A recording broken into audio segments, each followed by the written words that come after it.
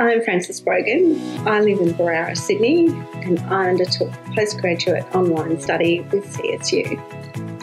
Before I started my postgraduate studies, I was working as a clinical nurse specialist in the emergency department.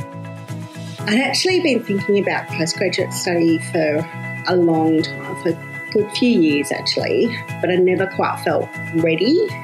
As a working mum, four children, the thought of the committing to face to face learning, it's just too challenging. I, I, and I couldn't make that commitment. When I went into the postgraduate, I wasn't quite convinced I could actually do this.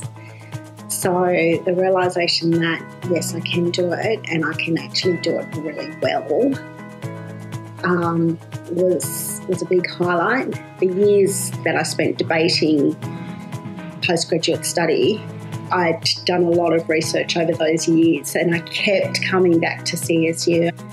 My top tip for anyone taking on postgraduate studies with CSU connect with your lecturers.